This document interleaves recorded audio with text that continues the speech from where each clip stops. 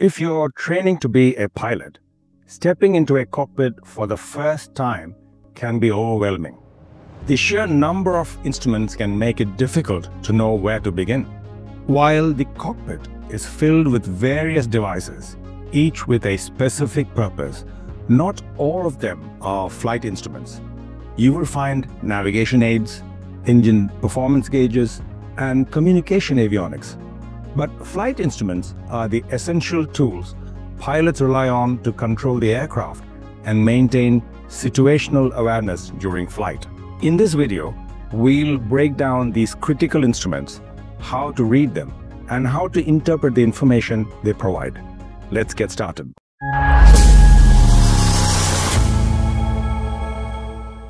The core flight instruments, commonly known as the six-pack, are arranged in a standard configuration.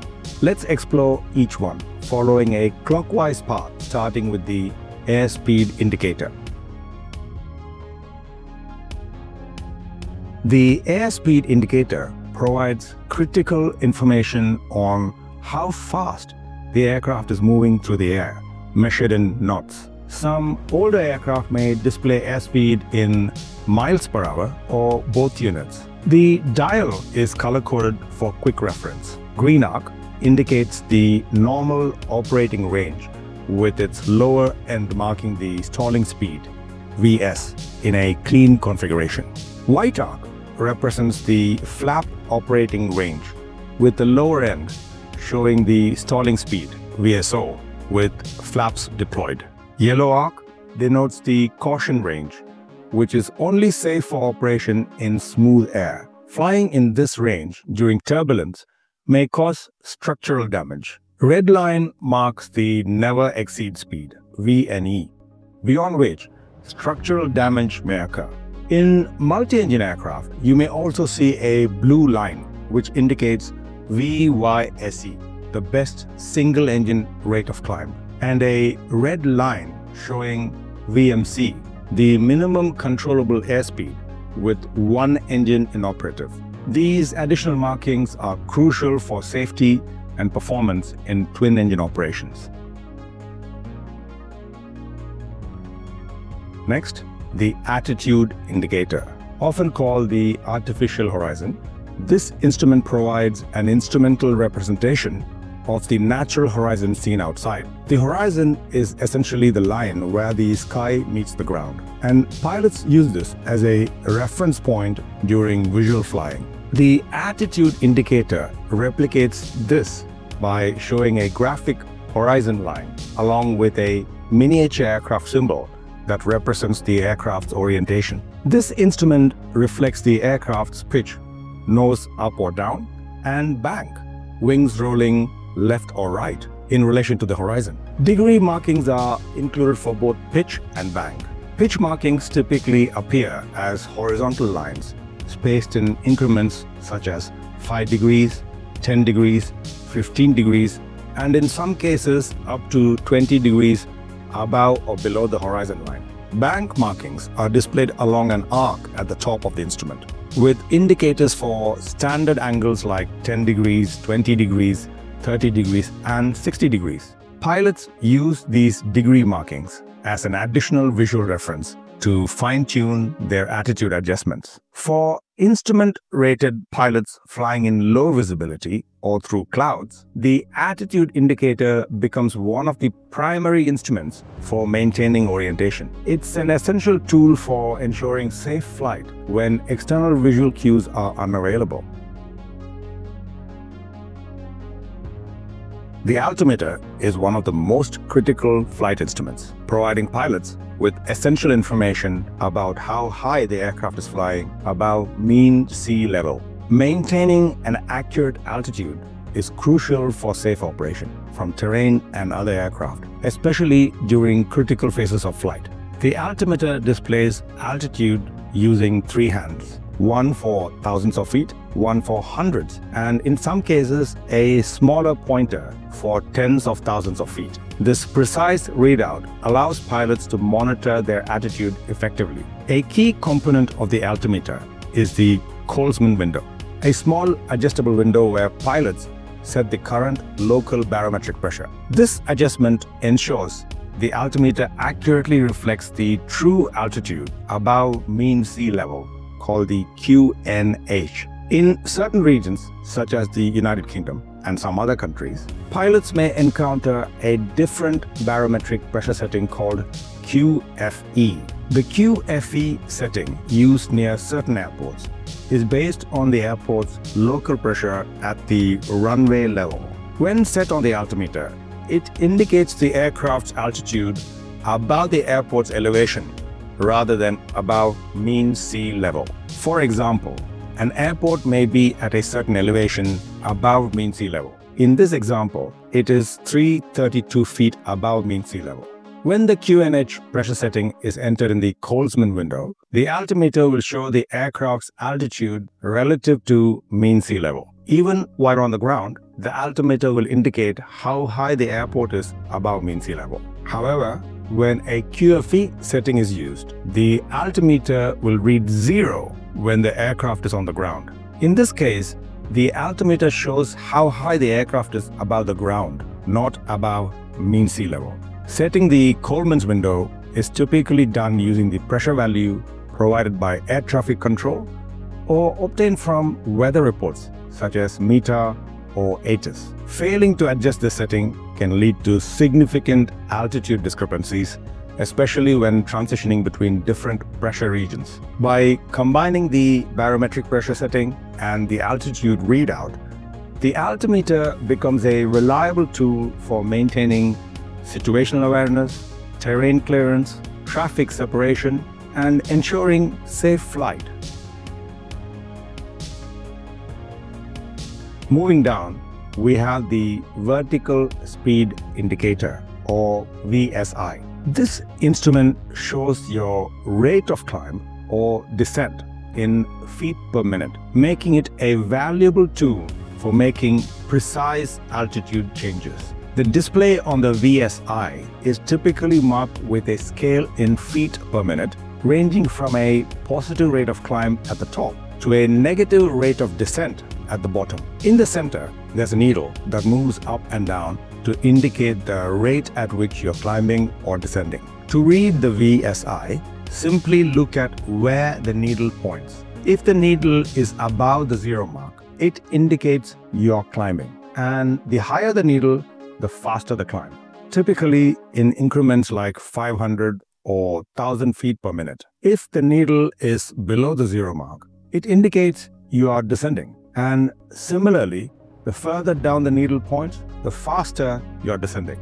A needle at zero means you're maintaining level flight with no climb or descent.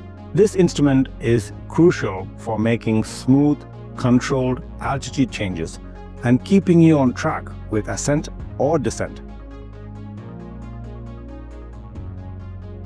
Next, we have the heading indicator, sometimes called a directional gyro. This instrument shows your aircraft's heading in degrees, which is the direction you're flying relative to magnetic north. It's essential for navigation, helping you maintain your course whether you're flying straight or making turns. The display on the heading indicator has several key components. Compass card, a 360 degree card marked in degrees that shows the aircraft's heading, airplane silhouette, a small airplane shape that represents your aircraft's current course, lubber line, a vertical line extending from the nose of the airplane that intersects with the heading indicator's hash marks, allowing you to easily see your current heading. Cardinal points, letters marking the four cardinal points, north, east, south, and west, corresponding to magnetic headings of 360 or 000,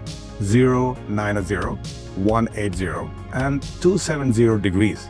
The heading displayed at the top of the indicator, where the lubber line intersects the compass card, represents your aircraft's current heading, essentially the direction the aircraft's nose is pointing to. For example, if the lubber line points to 090, you are flying east. If it points to 180, you are flying south. 270 means west and 360 or 000 indicates you're flying north.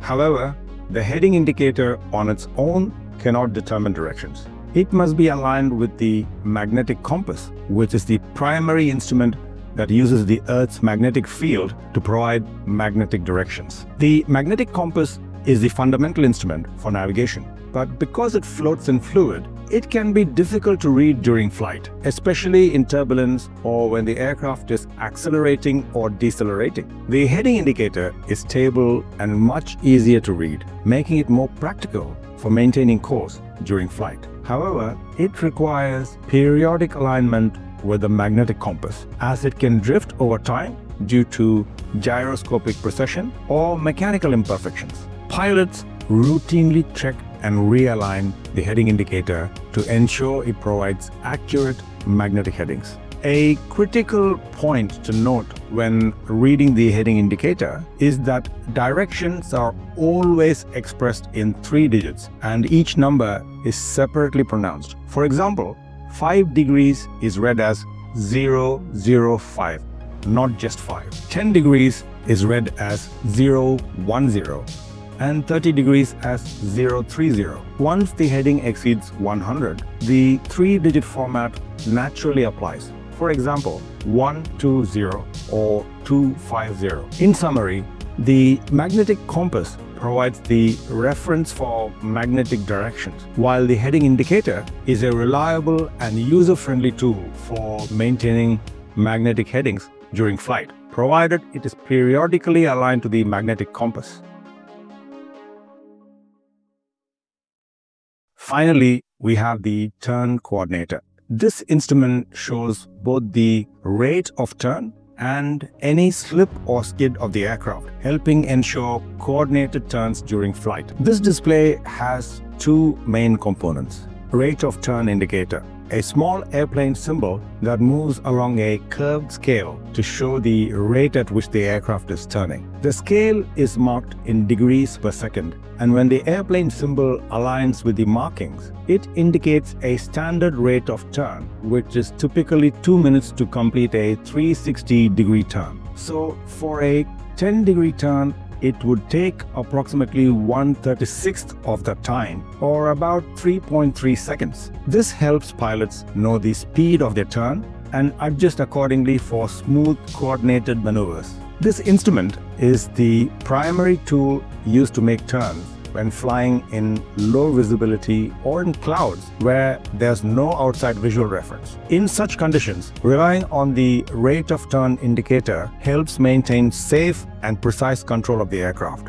Balance ball or inclinometer. This is a small ball in a curved tube filled with liquid. The liquid dampens the ball's movement, preventing it from bouncing or oscillating, and ensuring a smooth and stable indication of the aircraft's balance during the turn. Now to understand slip and skid, think of driving a car. If you make a sharp turn too quickly and the tire starts skidding, the car will skid, moving more toward the outside of the turn. This is similar to what happens in an aircraft when the ball moves towards the outside of the turn in the turn coordinator. It indicates that the aircraft is skidding because too much rudder is being applied, causing the aircraft to turn too quickly for the bank angle. On the other hand, if the ball moves towards the inside of the turn, it indicates a slip. This happens when the aircraft is not turning fast enough for the amount of bank angle used. Essentially, there is not enough rudder applied,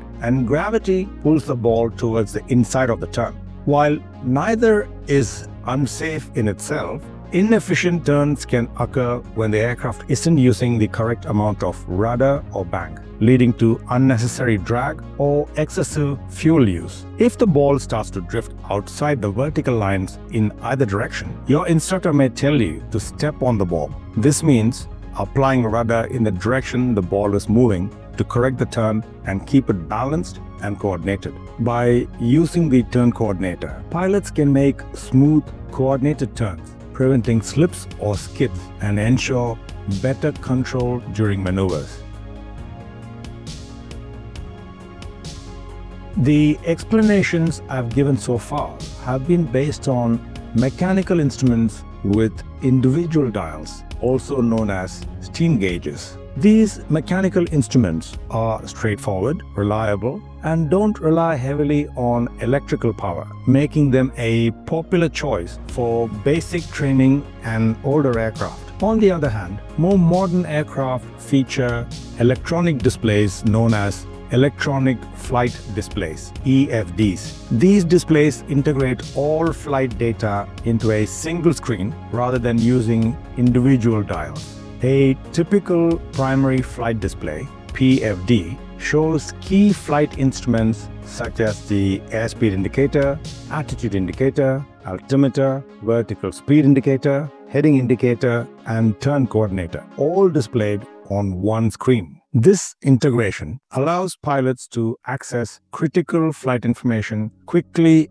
and efficiently, enhancing situational awareness. However, PFDs do rely on electrical power and advanced software systems. And that wraps up our overview of the core flight instruments or the six pack that are essential for every pilot. These instruments work together to give you the critical information needed to safely and effectively control your aircraft during your flight.